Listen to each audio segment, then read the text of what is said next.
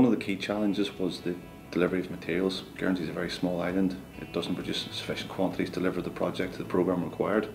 So we had an idea uh, to manufacture a temporary harbour facility in order to import our aggregates. That in itself secured the programme, saved time in programme and made sure that we had no uh, logistical risk in our, our price.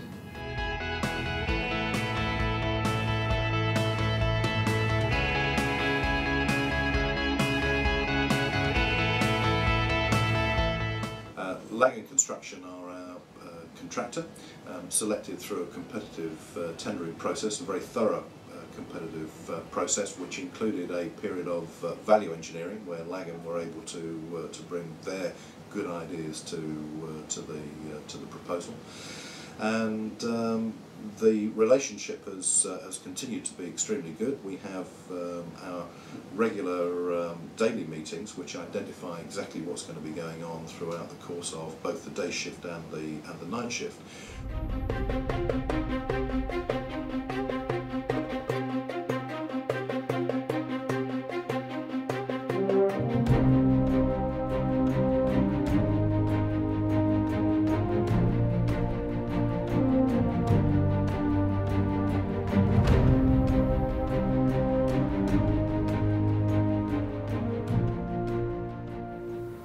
Lagan Construction drew upon our experience of working in Hong Kong, Luton Airport, Puerto Rico, to ensure that we delivered a competitively tendered bid, saving the client money and delivering ahead of their, their programme schedule.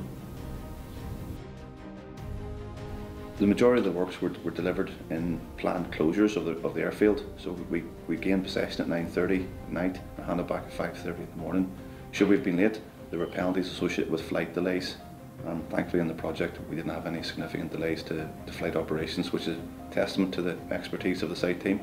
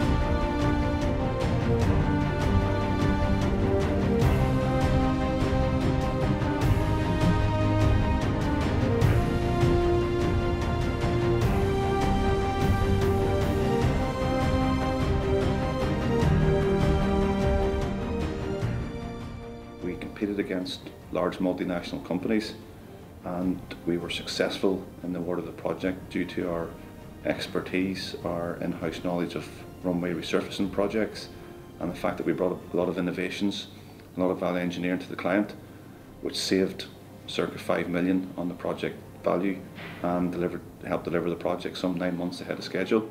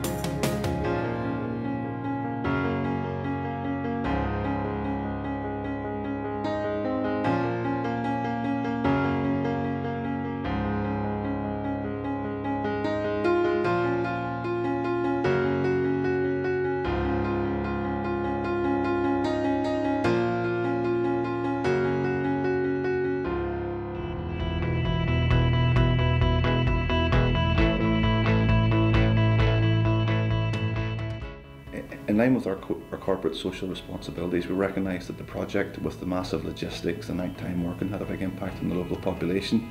So we made a very early decision. We had to get heavily involved in the local communities. So some of the, the initiatives we supported was a drink driving campaign. We helped out at the local special needs school to build a garden of reflection.